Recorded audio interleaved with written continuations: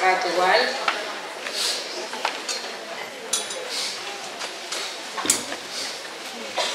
Para mí es un enorme placer poder presentar este, esta mesa con los profesionales que nos acompañan en esta oportunidad, como el profesor Gabriel Brenner, la profesora, yo digo profesora, no importa, porque acá estamos en la facultad, ¿está bien?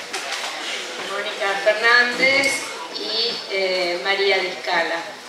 Ya los voy a presentar oportunamente. Y nos convoca acá a hablar sobre las políticas de infancia específicamente y sobre la relación entre políticas de infancia e inclusión, que es la temática que atraviesa todas nuestras jornadas. Obviamente que hablar de infancia eh, eh, no es un eh, tema que sea solo abarcativo de esta mesa, por supuesto, atraviesa todo lo que se está hablando a lo largo de, todas las, desde el comienzo de las jornadas y seguiremos hablando de ello todo el tiempo. Acá nos paramos específicamente a hablar sobre ello, porque hablar de, educación, hablar de educación y psicopedagogía es hablar de infancia, repensar la educación es repensar la infancia, y recién estuve en la mesa sobre pensar la escuela y en, su exposición Sandrani Castro, entre las muchas cosas que se dijeron y muy interesantes en toda la mesa, hablaba de la responsabilidad política de educar y que esa responsabilidad implica interrumpir, también pararse para tomar distancia y mirar y que en esa interrupción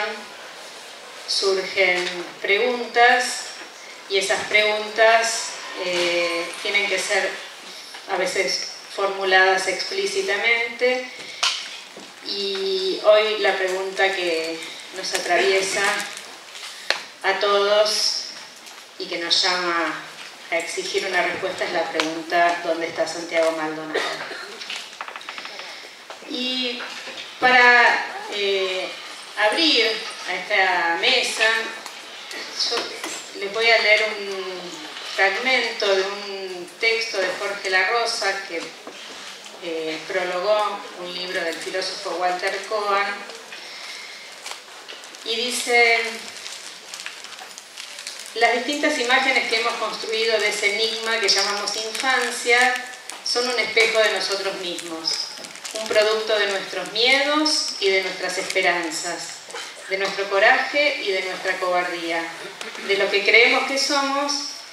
y de lo que sentimos que nos falta, de lo que nos gustaría ser y de lo que sabemos que nunca seremos, de nuestras utopías y de nuestras decepciones, de nuestros sueños y de nuestras pesadillas, de nuestros logros y de nuestros fracasos, de nuestra manera de habitar el tiempo, la memoria el olvido, la repetición y la diferencia, la continuidad y la discontinuidad, el nacimiento y la muerte. Nuestra imagen de la infancia es una proyección de lo mejor y de lo peor que somos. Por eso repensar radicalmente la infancia es también repensarnos a nosotros mismos. Bueno, buenos días a todos, todas. Eh, en primer lugar, eh, gracias Silvia, gracias a, las jornadas, pero especialmente a ella por la invitación, por el permitir compartir con compañeros, con colegas, con, otros que se ocupan y se preocupan, primero nos ocupamos y después nos preocupamos de los más chicos. Eh, es un día especial, eh, nosotros los sábados cada 15 días tenemos postítulo, como se le suele decir en la jerga de la docencia, eh, que es la especialización eh, en el Mariano Acosta, y el Mariano Acosta hoy está tomado por los pibes del media, así que yo preparé algunas palabras, veremos si podré decir algo de eso o voy a estar atravesada por lo que vengo de vivir allí. Por cierto, muy impactante, que es este, escucharlos a ellos, ¿no? que es una de las cuestiones que las políticas públicas en términos de, infancia adolescencia tienen como deuda todavía, ¿no? darles más, más espacios para que sean ellos los que hablan. Eh, también, además, conmovidos porque nuestro último encuentro, recién lo dijo Silvia y quiero decirlo de nuevo, estaba atravesado por, por, toda la cuestión de la aparición de Santiago Maldonado y la invitación desde la CETERA, que es el sindicato, la confederación quizás más importante, pero no la única, de sindicatos de docentes de la República Argentina, a trabajar sobre el tema de la desaparición de Santiago Maldonado. Nuestro último encuentro nos encontró con la imagen de Santiago a lo largo de todo el sábado, sobre el final del encuentro, la silla que tenía la foto de Santiago como símbolo de su presencia no estaba más y terminamos el encuentro en una suerte de doble desaparición o nueva desaparición que nos dejó en, estado de mudez, cosa rara entre los maestros, ¿no? Así que este es el escenario en el que uno viene a hablar de políticas para las infancias, de políticas de infancia, de políticas de infancia y de infancias eh, en un singular y en un plural, que en primer lugar creemos este, condensa intereses, derechos y obligaciones que el Estado atiende o desatiende o debería atender de una manera diferente, pero que en un primer lugar lo que nos exige a quienes trabajamos en estos temas, quienes trabajamos con los sujetos que están dentro de esta franja etaria, es empezar a preguntarnos por las precisiones en torno a lo que la categoría infancia quiere decir. Infancia, infancias,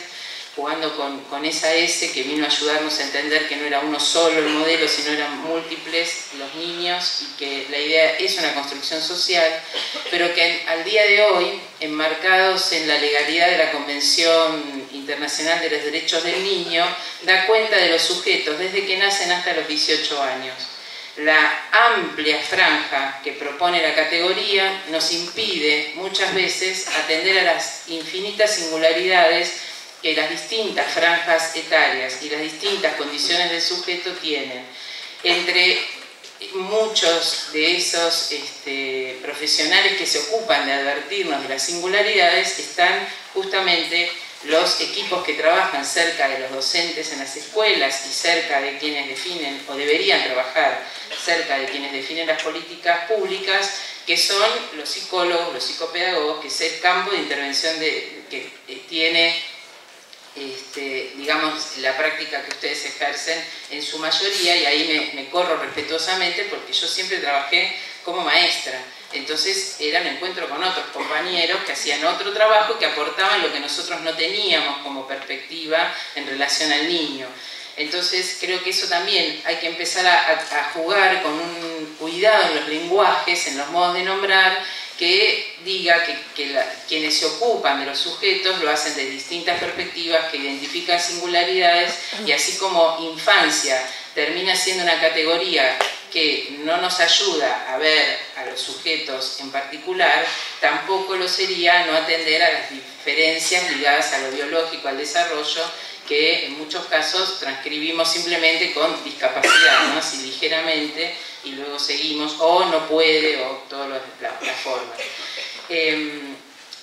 nos parece además que es imposible seguir adjetivando a los infants, eh, seguir tomando el nombre de ellos con una, em,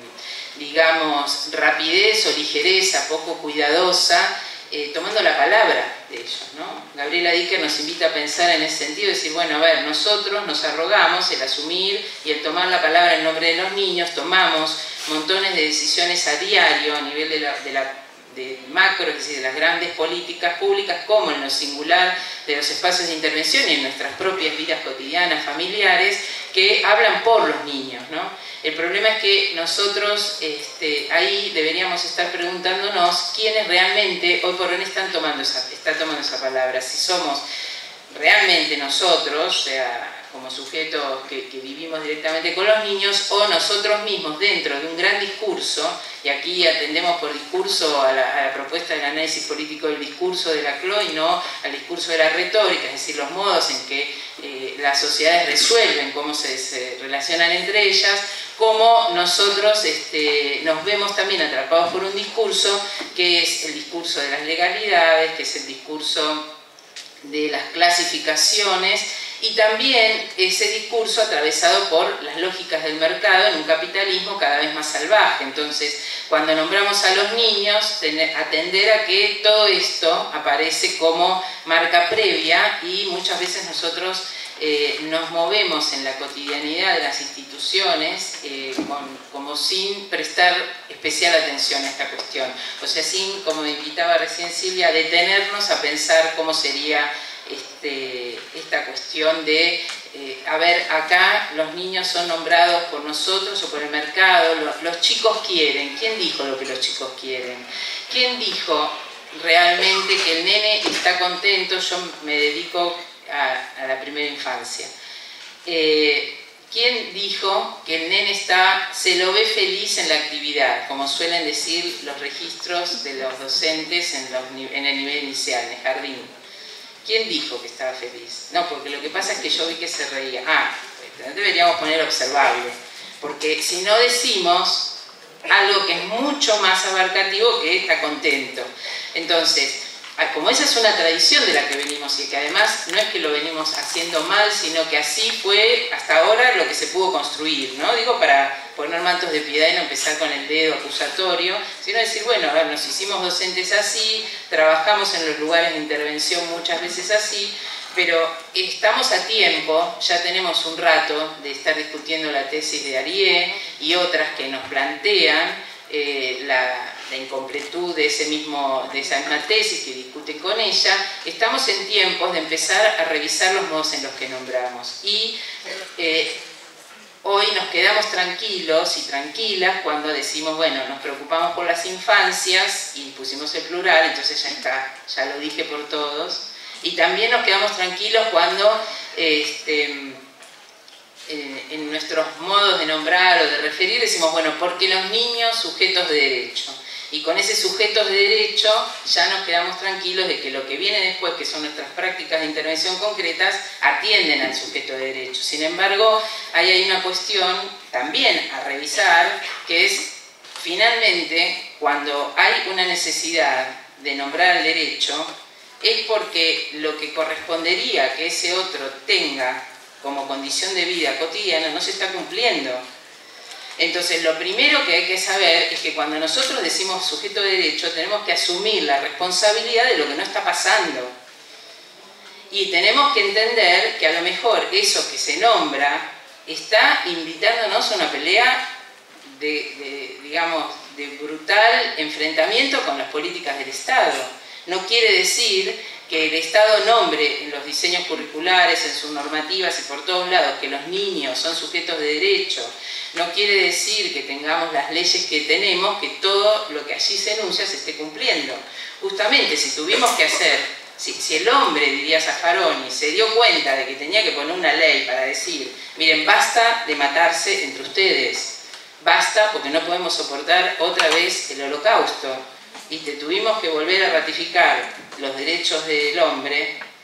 y después nos dimos cuenta que además le teníamos que aclarar a los otros que los pibes eran como los hombres y acá yo suelo traer con insistencia la idea de hablar eh, de los pibes porque en las escuelas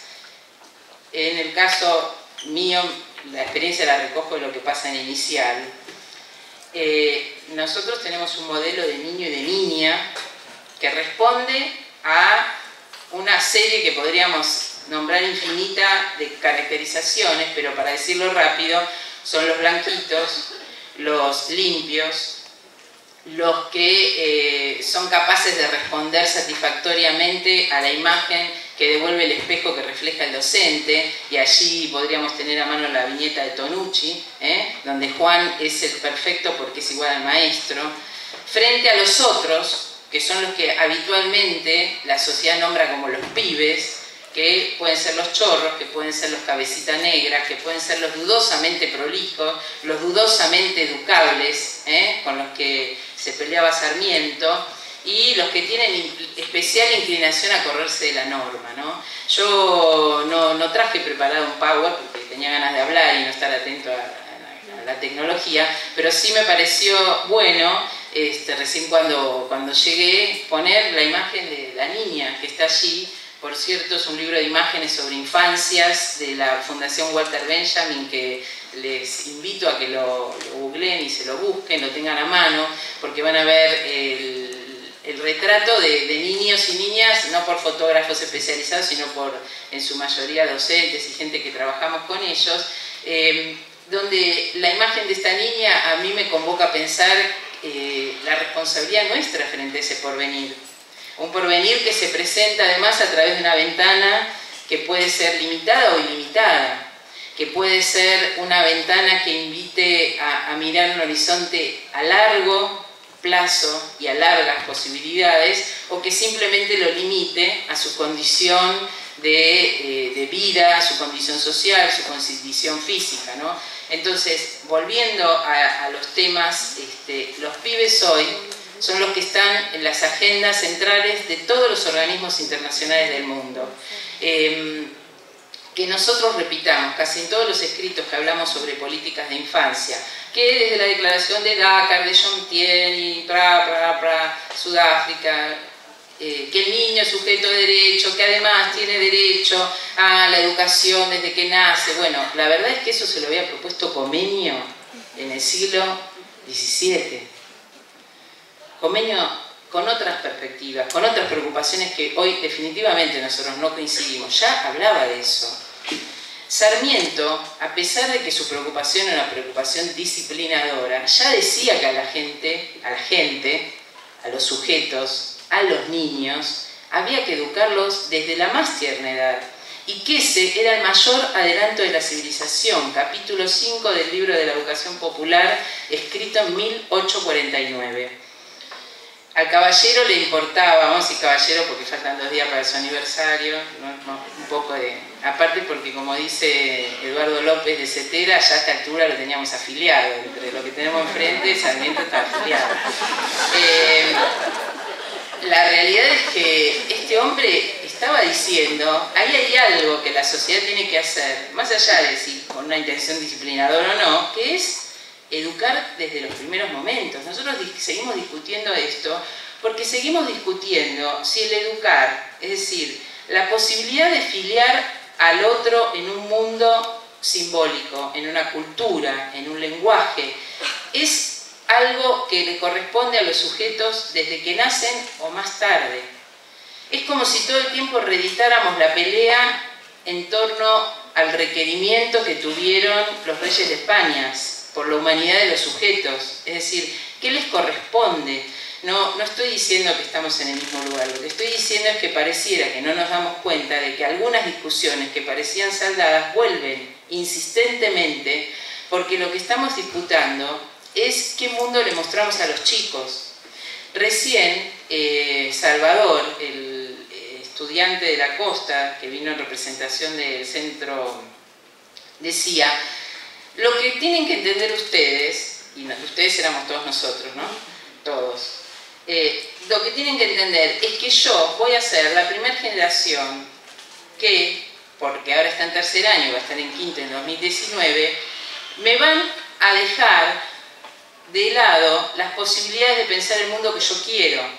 Me van a decir a dónde yo ya tengo que ir y me van a limitar mis posibilidades de aprendizaje. No me van a dejar soñar más decía Salvador. Cuando uno escucha eso, la pucha, ¿no? Cuando el pibe terminó se paró todo el mundo a aplaudirlo, porque te lo está diciendo casi como, diríamos vulgarmente, en la cara. Te está diciendo tu responsabilidad como adulto que construyó un mundo que no fue capaz de enfrentar estos discursos, quizás estoy escéptica, eh, perdónenme, pero a mí me pegó hace un rato me estás poniendo en esta situación. Yo también quería ver, después de que haya terminado de estudiar, qué quiero seguir. yo quiero seguir estudiando biología, porque él explicaba la, carrera y, plantea, le sacan las materias que acompañaban su carrera, que además es una carrera exacta, ¿no? En pos de otras carreras. Nosotros tenemos ahí una cuestión que tensiona a, a las dos puntas de la categoría infancia, que es a la primera infancia y a estos chicos que son los que están cercanos al final, ¿no? De eh, la,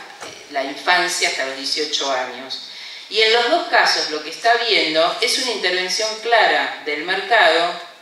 de las políticas públicas definidas para los países emergentes, que vuelven a decirnos una y otra vez que los chicos tienen un derecho limitado. Por eso yo decía que tendríamos que volver a revisar cuando parecía que la sociedad había reconocido la humanidad de todos y entonces eh, veíamos con ojos eh, de barbarie el planteo del requerimiento, que es la, lectura que se hacía a los eh, pueblos originarios cuando llegaban los españoles. Eh, por otro lado, quería dejar acá hecho el planteo en relación a las preocupaciones concretas que estamos teniendo con la primera infancia. Estamos disputando ya no solamente qué les vamos a enseñar a los chicos, quién lo va a hacer, es decir, Saldada la disputa de que ese lugar le sigue correspondiendo a las mujeres, ¿eh? así como la modernidad lo marcó. ¿Quién va a garantizar la organización y el orden en los estados nacionales que estaban formando? La mujer. ¿Dónde lo va a hacer? Primero en la casa y después en los otros espacios, que son los espacios educativos. Y en la primera infancia, por supuesto que es la que va a ocupar un lugar especial. ¿Por qué? Porque nosotros, estoy pensando lo que decían los hombres de aquella época, vamos a construir la idea de que ella naturalmente tiene el instinto de hacer ese trabajo. Hoy tenemos los trabajos de los movimientos feministas, de, es un placer escuchar a Dora Barranco que lo dice mucho mejor que yo, que nosotros no nacemos las mujeres con un instinto materno, que sí que cuando alguien dice a este pibe lo quiero matar, está bien, tranqui, compañeras, no pasa nada, y después reponemos, pero digo, no es que tenemos que ir al psicólogo porque sentimos eso, era normal que sintiéramos eso. Nos hicieron creer que estaba mal si, si sentíamos que no queríamos a los niños en algún rato. ¿no? Por ejemplo, cuando lloran 18 en una sala de lactario y la maestra dice que se pone brotada y empieza a llorar ella también. Eh, no era que nos iba a gustar cambiar pañales porque nosotras somos maternales, nos va a dar el mismo asco que a los varones y no nos gusta cambiar los pañales. Quisiéramos que todo eso se resolviera de una forma menos este, escabrosa para las personas, pero estamos eh, totalmente convencidos de que cuidar, educar y traer a la cría al mundo simbólico que nosotros creemos es una disputa que se viene dando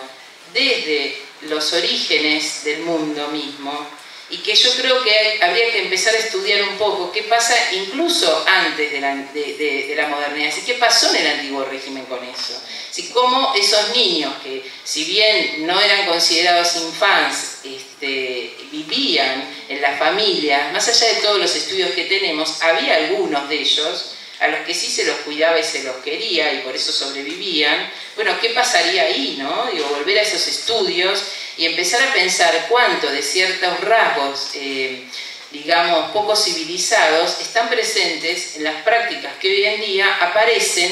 como prácticas desde el Estado. Es decir, nos toca asumir que lo que los niños son, lo que la infancia es, es lo que nosotros los adultos definimos que sea.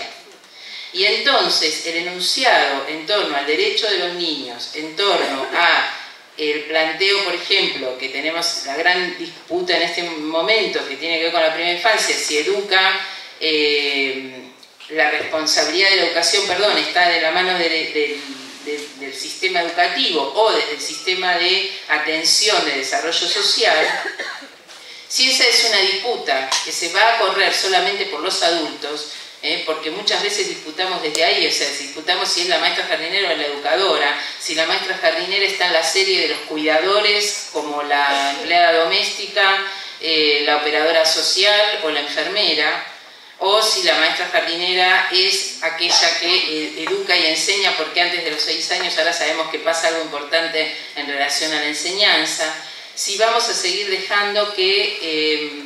nos vengan a decir de una y otra forma todo el tiempo lo que al mercado le conviene para esos niños de pequeña edad y nosotros alegremente vamos a seguir sosteniéndolo porque hay, porque quiere, pobrecito y está bueno y nosotros mismos incentivamos. Si vamos a colaborar con que los maestros, las maestras, los profesores, quienes están entendiendo el tema de la infancia más pequeña, sepan que uno puede ser un cómplice silencioso solamente por desconocer de políticas eh, económicas, no solo porque aceptamos que los pibes vayan a instituciones que no son educativas, por ejemplo, sino porque no nos parece grave que vengan las fundaciones y nos traigan algo para el jardín. Por ejemplo, el año pasado en un jardín del Distrito 19 le dieron 20 mil pesos en mano a las maestras, o sea, fíjense lo que estoy diciendo, manejo directo del dinero, y las maestras estaban contentas, los señores vinieron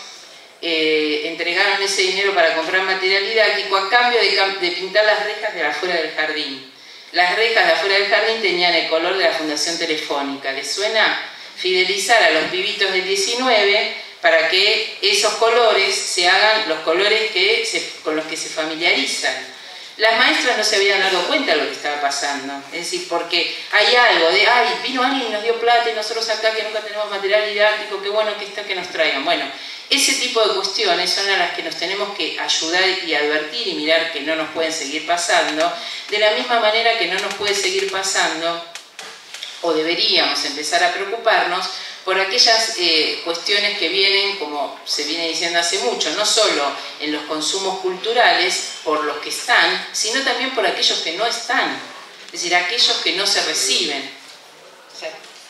Eh, tengo que cerrar, uno tendría montones de cuestiones más para decir, solo dejar lo que es nuestra preocupación en este momento, que es la pelea con el Estado, porque 1.200 millones de dólares el Estado recibió de crédito del BID para destinar a la primera infancia, no van a ir de la mano de educación, van a ir de la mano de las fundaciones, la ONG y todos los sectores privados que quieren encontrar ahí un público cautivo de la mano de la gran organización que son los espacios de desarrollo social. Esto que es una política pública vigente, esto que es un decreto presidencial que se acompaña por